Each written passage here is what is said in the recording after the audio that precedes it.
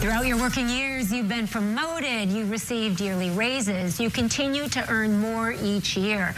So is it possible for us to retire and still get wealthier? Well, back with us today are Gary Mattson and Taylor Steward. The duo are part of the team with Mattson Financial, a full-service financial and retirement firm in the Grand Rapids area. They are also popular radio show hosts. Okay, fact or fiction? This is something that uh, folks, I bet, debate a little bit or think couldn't be possible. Is it possible to retire and then actually get wealthier in your retirement? That's a fact.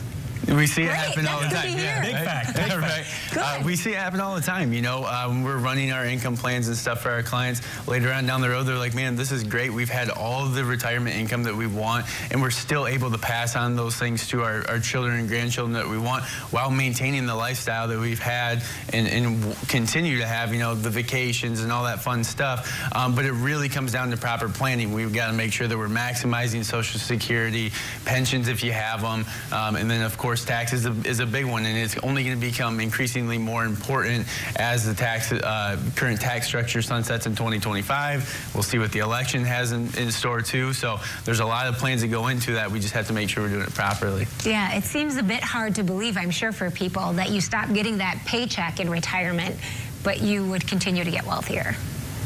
Yeah, it's really about, like Taylor said, being diversified in the numbers.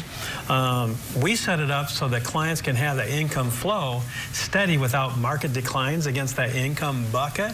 And then that allows us to properly position the other assets, what we call your lifestyle assets, so they can grow. And as they grow, they're going to pull off whatever they need for income.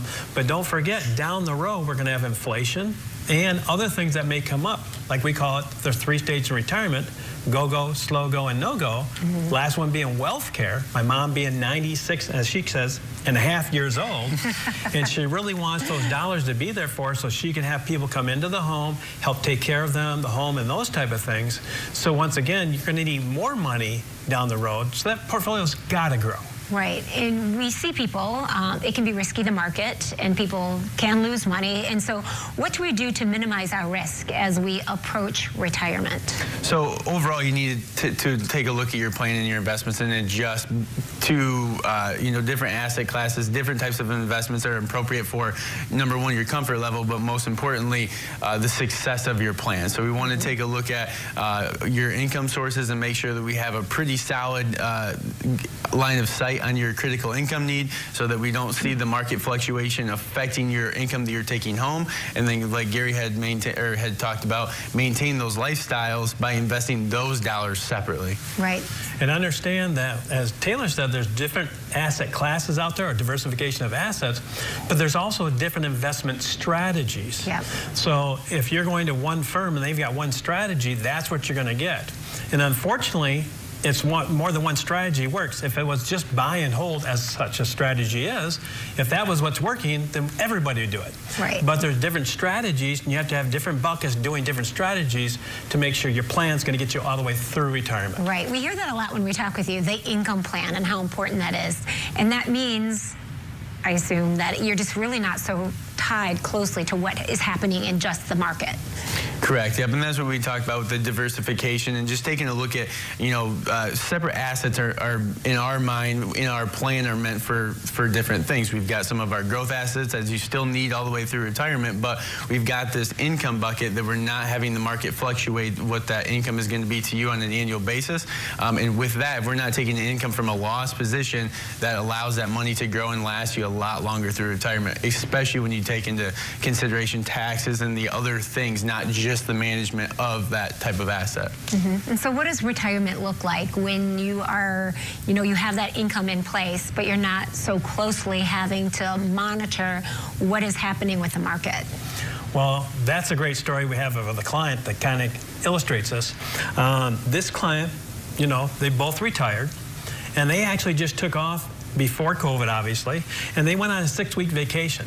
And they used that time to get reacquainted with each other. Mm-hmm. And so they didn't worry about money. They just went on their vacation, traveled the United States, saw some family members, and when they came back, not only were they closer, but they understood that money and what they have set up for them and the budget and things that we want them to see and that they wanted is very much on track and in tune with what they want to do throughout retirement. Mm -hmm. So it's a great opportunity as fiduciaries that we put together the plan, and the plan's got to be flexible, and secondly, it's got to meet the client's needs. Mm -hmm. So we look at very much of the dreams, goals, and desires of clients and making sure the plan will fulfill that. Right. You know, you often talk about taxes having a tax strategy, uh, that can also lead to more money in our pockets.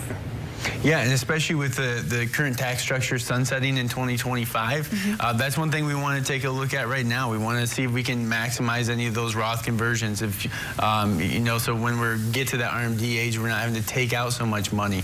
Um, making sure that we have your income bucket structured properly, so we're keeping you in the lowest tax bracket possible now and moving forward. So all of those things are strategies that we're going to look at every single year, and it's really important that you do that to make sure that we're not hurting ourselves down the road or even hurting your heirs possibly if, if a part of your goal is to leave this, uh, you know, lump sum of money behind mm -hmm. for your mm-hmm. kids or grandkids, uh, we want to make sure that that's structured properly for them as well.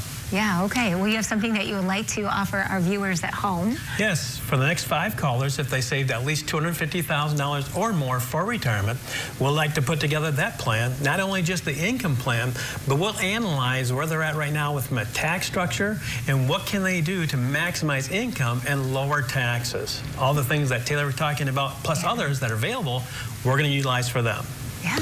Okay, so for you at home, if you want to learn more about putting yourself in a position to retire wealthier, Mattson Financial has a great offer right now for the first five callers that are retired or nearing retirement. They're offering a complimentary full-blown retirement plan just for you. This will allow them to sit down with you personally and provide you with a roadmap, analyzing where you are right now and discussing your best steps to really get ready for a successful retirement. A game plan to get you where you need to be. The number to call, 616 514 3831. Again, that's 616 514 3831. Gary Taylor, thank you so much. We appreciate your time. Yeah, thanks for having us. Great yeah. to be here. Yeah. We'll be right back with more 8 West. Don't go away. This is 8 West.